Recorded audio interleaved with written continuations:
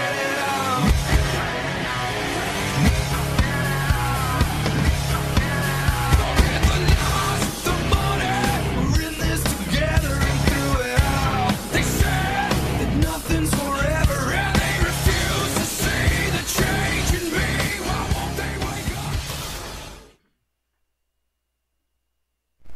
Hola, ¿qué tal amigos? Mi nombre es Junkel, nos encontramos en el review de la Arena Lobo, la Cueva del Terror, hoy 24 de septiembre. Doy la bienvenida a mi compañero, mi amigo de narración, García. ¿Y qué tal amigos? Gran saludo y fuerte abrazo. Y en esta primera lucha en la Arena Lobo vemos llegar a Pandemia acompañado de Buitre, quienes se enfrentarán a D6 y haciendo su debut profesional, Abismo Lagunero.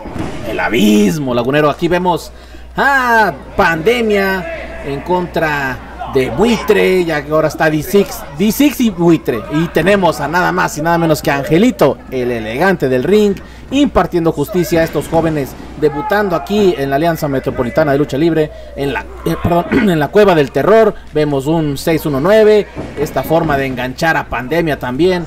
D6 de aquel lado bloquea, lo levanta, cargada de bombero. Mortal hacia atrás por parte de Abismo. Ahora azotando de aquel lado D6, eliminaban a Pandemia y ahora de esta forma volaba un Fox Splash, impactando, impactando, perdón, a Buitre y eliminándolo para ganar los técnicos la primera caída. Primer caída para los técnicos y caminado por Angelito la elegancia de la alianza. Y comenzamos con esta segunda caída al buitre y pandemia haciendo elegancia de la alianza con sus llaves para terminar eh, con sus rivales. Y así de rápido nos vamos a la tercera caída, lluvia de patadas voladoras. Y ahora es Abismo Negro quien aprovecha su agilidad, Abismo Lagunero Disculpa, una disculpa. Abismo Lagunero, quien aprovecha su agilidad para llevarse al buitre. D6 quería rendir a su rival y es Pandemia quien llega con unas patadas para eliminarlo. Aprovechan este error y ahora pues vemos a Abismo Lagunero terminar con su rival, el buitre. Y de misma forma vemos a D6 con el conteo de 3 segundos. La primera lucha se la llevan los técnicos. En esta segunda lucha vemos llegar a el hombre hecho bestia, licántropo, acompañado de Mumra, el inmortal y cerrando el último jefe. En contra de las gemas del ring, Diamante, Gema y Zafiro Jr. haciendo también su aparición en la cueva del terror, la arena lobo. Iniciaba Gema Andrade en contra de Mumra, el inmortal. Aquí, buen enganche de Gema. Aquí, un duelo mixto, ¿eh? algo muy poco visto, muy poco común aquí en Arena Lobo. Pero, este, pues a fin de cuentas se daba. Y tenemos también al papisuegro, al papisuegro en compañía de Ángel el, el elegante del ring. La elegancia de la alianza, como dice García. Aquí vemos al último jefe como da marometas a diestra y siniestra y enganchando de esta forma a Zafiro. Ahora Licántropo se lleva unas tijeras enganchando de diamante y se aproxima a volar por los cuatro vientos. Norte, sur, este, oeste, entre segunda y tercera. Cuidado con el pilar. Muy peligroso el vuelo, pero efectivo. Gema Andrade también rendía al último jefe. De aquel lado Zafiro hacía lo propio. Victoria. Sí, victoria de las gemas del ring de Gómez Palacio Durango. Victoria de los técnicos. Palacio para el mundo. Y e iniciamos la segunda caída y vemos a Gema enfrentando a Munra con todo el sazón de los antiguos espíritus del mal, enganchando de muy bella forma y sacándolo del ring. Ahora vemos a Zafiro quien engancha desde la segunda cuerda hacia afuera del ring al último jefe quien lo, lo, detiene en el aire y lo, lo, arroja en contra del público. Bueno, las ideas del público es los rudos quienes empiezan a tomar el control de esta lucha. Vemos cómo castigan ahí a Gema, a Zafiro y a Diamante. Estos enormes rudos con toda la violencia que, que ya los caracteriza, ve usando hasta los dientes, tratando ahí de arrancar los dedos. Y ahora es el último jefe con esta gran plancha desde la tercera cuerda con un poco de apoyo para eliminar a su rival haciendo muestra de conocimiento de llave luchística se llevan esta segunda segunda caída. Iniciábamos la tercera y definitiva caída. Gema Andrade en contra de estos tres rufianes. Doble patada por parte del último jefe y de Mumbra. De esta manera también respondía Diamante enganchando ahí al último jefe. Patadas de Zafiro. Otras patadas para el último jefe. Venía Gema Andrade contra Licántropo, un hombre muy alto. Y vean con qué fiereza se va en contra a Zafiro. Ahí eh, se cruzan ahora patada. Eh, también eh, por parte de Zafiro, ahora otra vez se cruzan, lo estampan contra el esquinero, lo derriban y vienen con unas rodillas, unas rodillas encajadas allí en los hombros por parte de, ah, de Diamante Junior. Ahora enganchan a Mumbra, el inmortal. Viene esta combinación por parte de las gemas. Lo levantan como tipo cazadora y lo dejan caer como plancha. Viene la hora de los vuelos. Mortal hacia el frente por parte de Diamante. Zafiro también hacia lo propio contra el licántropo. Venían a definir. Mumbra, el inmortal en contra de Gema Andrade. Se lo llevaba en una hurracarrana. Solamente llevaba dos. Aquí se confiaba Mumbra. Se lo llevaban con un paquetito. Ángel, el elegante del ring, contaba uno, dos, tres. Victoria para las gemas del ring. Directamente de Gómez y nos vamos a la tercera lucha donde vemos llegar a estos grandes exóticos ya reconocidos como lo es Sexy Francis, Dulce Paola y como broche de oro Richie Quinn enfrentándose a los asesinos del ring Juventud Azteca, Rey Star y Grand Anton Jr. Iniciamos las acciones de la primera caída. Veníamos a ver al paletero del amor en contra de Sexy Francis, un, un, luchador exótico diferente, un luchador exótico que le gusta mucho luchar, eh, de gran experiencia. Y ahora vemos a Dulce Paola en contra de Grand Anton Jr. ahí enganchando de, buena forma. Ahora una plancha cruzada por parte de Dulce Paola a Juventud Azteca. Sexy Francis no se quería quedar atrás. Y para rematar ahí Richie Quinn ahora le pasaba por encima Sexy Francis, le pasaba por encima Papi Suegro, Richie Quinn Marometa y todos ahí empezaban y hasta Angelito se llevaba un bello beso por parte de Sexy Francis.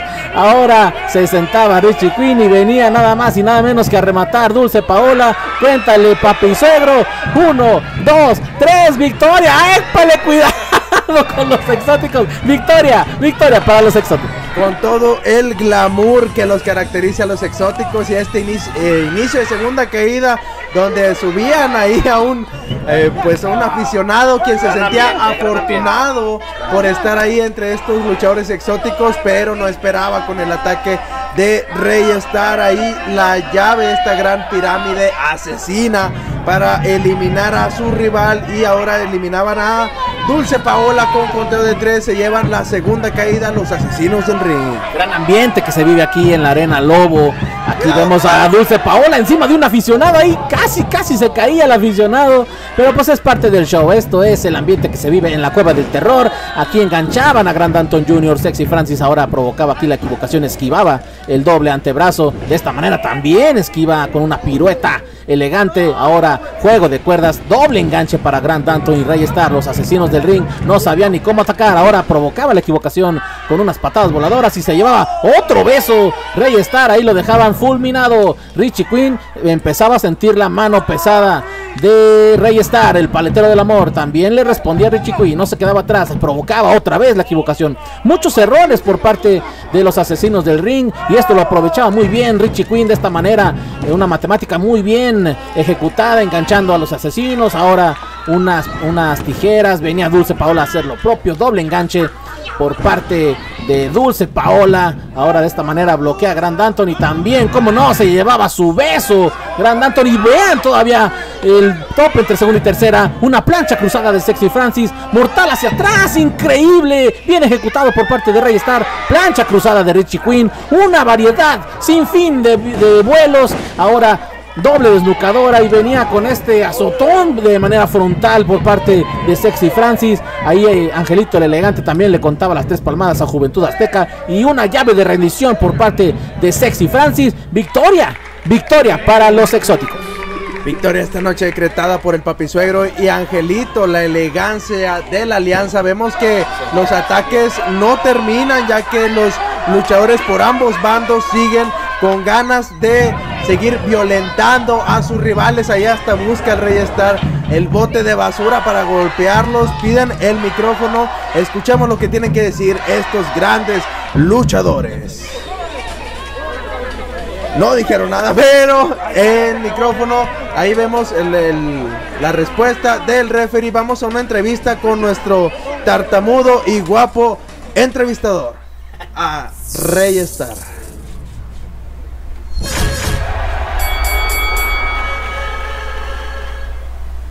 Hey, ¿qué, tal, amigos, de Luchópolis? Nos, encontramos, con, con la, esteta de la, arena. Estamos, aquí en la Arena Lobo junto a Rey, Star. Rey Star, vimos, una, lucha, polémica. Vimos, cinco, minutos, más, de las tres caídas en contra de Dulce Paola y hubo un reto de cabellera contra cabellera. Mira, perdón que, que hable así, pero antes que nada, buenas noches. Tú eres García. Yeah. Tú eres Junkel. Un gusto. A Junkel ya lo conocía, a García apenas. Sí, lo que viene diciendo. A mí me gustan los retos. Y qué bueno que pinches jotos como estos vengan y demuestren para qué están hechos, no que vengan con sus pinches tonterías. Aquí van a venir a luchar. Y mira, grábate esto. Qué bueno, a mí me gusta que me peguen, a mí me gusta también golpear, me gusta rodear a mí, a mis compañeros y sobre todo que ellos y nosotros demostremos lo que en realidad estamos hechos y para que esta pinche gente salga con un buen sabor de boca. Dime, Rey Star, esta lucha de cabellera contra cabellera, ¿la planeas mano a mano o tercia los asesinos del ring en contra de los exóticos? ¿Cuál es tu plan? Mira, mi plan yo no vengo buscando un plan entre esos pinches jotos. Pero si se da la pinche Paola conmigo que dice que yo no valgo, está muy equivocada. Porque ella sabe desde dónde vengo. Y siempre que se topa conmigo, le gusta darse de madrazos. ¿Y por qué lo hace? Porque sabe lo que yo traigo. Y si quiere un pinche duelo de máscaras contra, de caballera, perdón, contra caballera, yo no necesito de mi tercia. Yo solo puedo. esperamos alguna lucha eh, sin reglas, lucha extrema, arras de lona. ¿Qué esperamos de parte de Rey Star? Mira, yo solo una cosa sí te digo. Eh, arras de lona, aéreo, llaveo contra llaveo, rudeza, lo que tú quieras. Domino las dos escuelas. Y, la, y cualquier escuela que yo haga, a la Paola, la Paola, con perdón de ustedes, es una pinche gorda que no me va a poder dominar a mí ni con su colmillo, ni con toda su pinche trayectoria, va a poder contra el Rey Star. Aquí tenemos las palabras de Rey Star. Los invitamos a que sigan el canal de Junkel y García y estemos al pendiente de esta rivalidad. Él fue Rey Star, el paletero del amor. a huevo. Y sigan la pinche página de Junkel García, ¿eh? Porque aquí, mira, los asesinos del ring estamos para deshacer a quien sea.